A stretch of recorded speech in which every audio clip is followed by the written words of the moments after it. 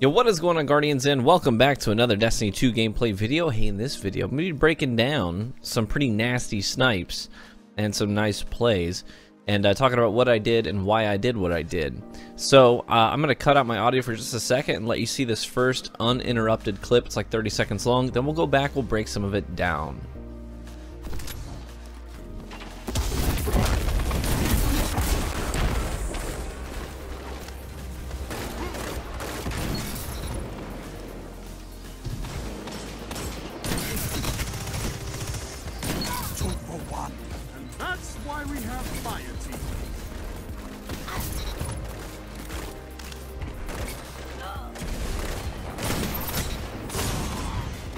Alrighty, so that was the whole uninterrupted clip. It started out with this nice uh, super shutdown, and uh, you know, I tag him with a headshot. I know I just need to clean it up with a, with a few primary shots. Now, here's the thing: I could take a shot, just a hail mary, but I decide I'd rather take a shot I do have than one I don't. I know this is gonna miss. There's no point in even pulling the trigger, so I'm just gonna go for the the big hail mary play. Stand my ground.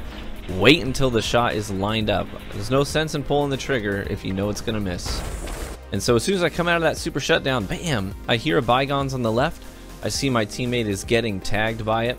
So I'm going to reload and slide into the lane, find him and take the shot. So it's important, I, I, I wanted to get underneath those bullets and then take the shot. And then coming out of that snipe, I see on my radar this guy to the right. So as soon as I get up here, I'm going to look to the right. Now this is important. Since I jumped up here, what actually happens is the reticle does this little bounce mechanic, which I, in my opinion, I'm going to be honest, I think is a terrible mechanic. I don't think it belongs in the game. When you fall from, you know, 15 feet, sometimes you're you do this huge screen shake. It's terrible. And um, it really messes up your shot. And I think that it's a, a dumb mechanic. I wish it wasn't in the game. But you'll notice I, I don't take the shot. I just sit there and I wait for that reticle to come back up. That way I know I'm going to have better accuracy when I do pull the trigger. So wait for the barrel to come back up, then I take the shot. As soon as I take that shot, I know I'm getting tagged from my left with a recluse. What I do is I slide through this cover, and I use that as an opportunity to switch back to my sniper rifle. So I break line of sight, and while I'm sliding through cover, that's when I swap weapons. I come out the other side with my sniper rifle ready to go. It's got quick draw on it and uh, and I also have enhanced um, sniper rifle targeting, so I can I can scope in pretty quickly with this build, and obviously I have snapshot as well. And I take that body shot to clean the guy up. I come out of that, and I uh, still have the sniper rifle up and at the ready. And I'm at this point, I'm feeling pretty confident. I'm feeling pretty gutsy. I know that if I keep this streak alive, it's going to be a clip. I uh, I decided I'm going to go for this no scope. But when you're going for the no scope, again, same as when I jumped up uh, onto the B platform to take that snipe a couple kills ago, same mechanic applies. I have to wait for, well, it's not the same mechanic, similar mechanic. I have to wait for the the barrel of my weapon, the barrel of my sniper rifle to come up. So you see, I, I don't go for that no scope just yet. I'm waiting on the barrel, the tip of my gun to come up. Because if I take that shot too early, it's just going to go into heckin' nowhere.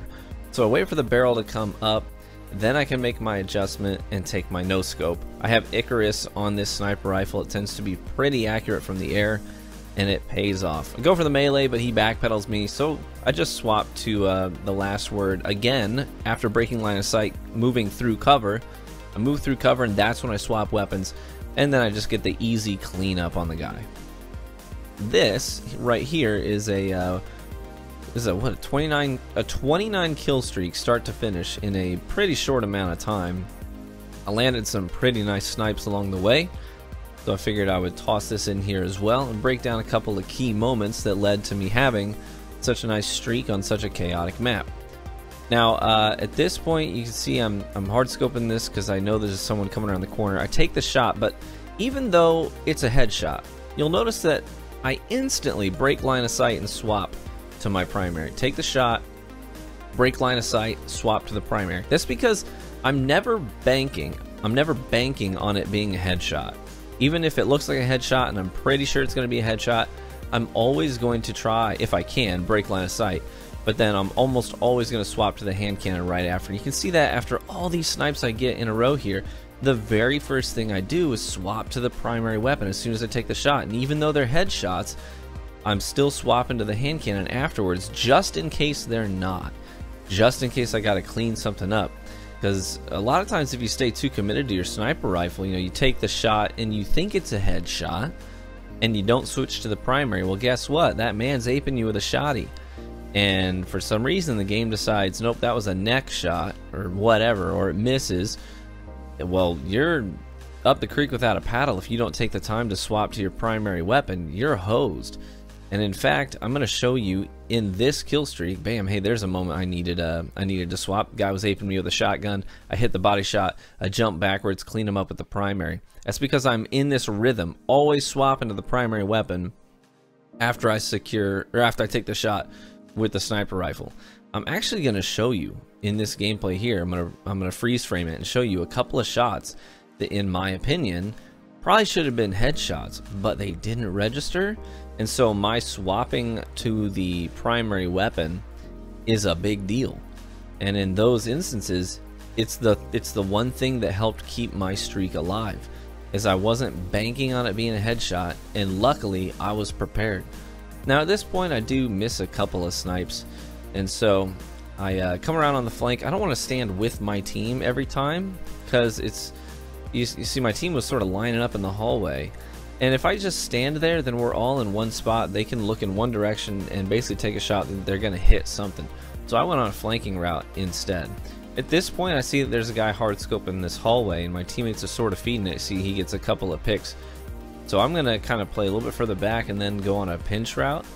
But then at this point, I see um, I see my teammates are still getting engaged, and the spawns are starting to flip. I don't want to put myself in between people, so I actually double back slide in and get that quick, nice little headshot there.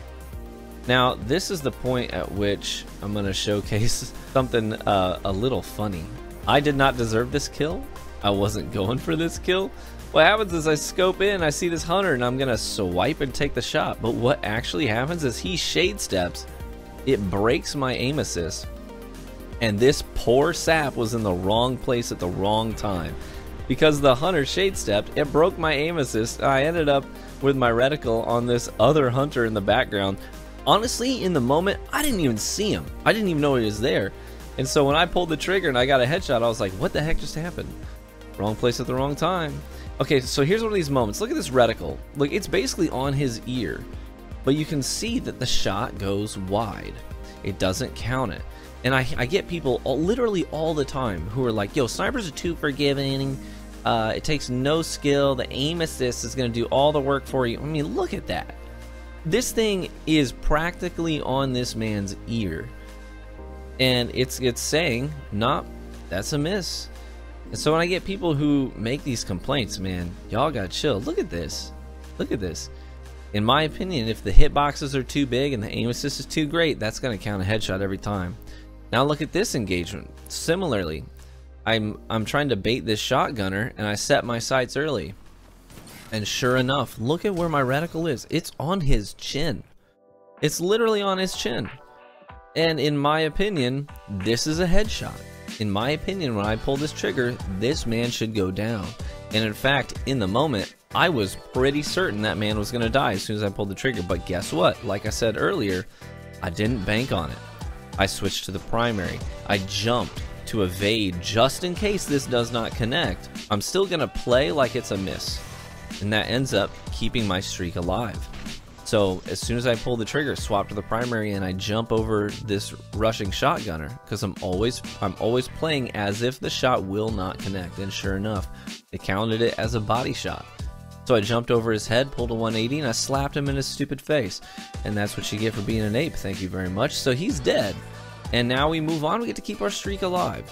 So these are just some things that I think are worth noting.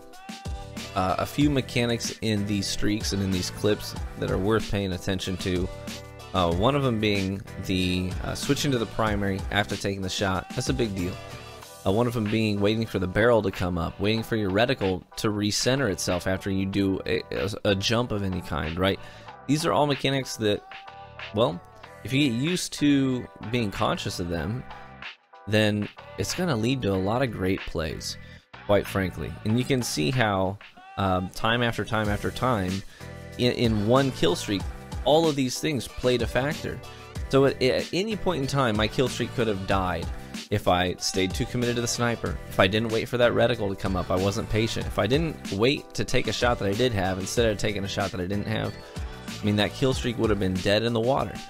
And so it's really important. This is talk. This is goes back to my previous video about game sense. It's all experience and knowledge informing the way that you play actively on the battlefield. So I hope that you found this video helpful. I hope that you enjoyed some of the breakdowns and uh, talking about why I did what I did. Just as a reminder, all these plays are live on stream. And if you, you want to have access to those streams, I now stream over on Facebook. You can actually even watch without having an account. You can create a sort of secret account to keep your identity private if you still choose to do so. And one of the great things about being a supporter, what's up, baby? It keeps what, baby? Rolling. Oh, the chair? Oh, okay. Well, I'll come over there and I'll help you out in just a second, okay? Here, come here a second, baby. Say, say, thanks for watching. Thanks for watching. I appreciate you. I appreciate you. Thanks for supporting our family. Uh, family. Good job, baby. Mwah. Alright, get down. I'll come over there and I'll help you. Alright.